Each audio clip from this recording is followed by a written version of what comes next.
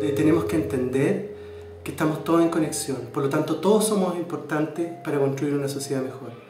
Y en ese sentido son los niños y las niñas lo más importante para acompañarlos en ellos en todo este, en todo este camino.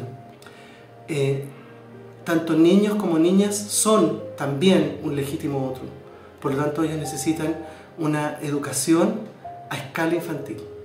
Necesitamos que los padres, las madres, los profesores, las profesoras y toda la sociedad nos empoderemos en este sentido y podamos acompañarlos para realmente eh, poder dar cariño, darles, acogerlos y, y sobre todo llevar a, la educación pasión y asombro, tan necesarios y tal vez tan olvidados en nuestros días.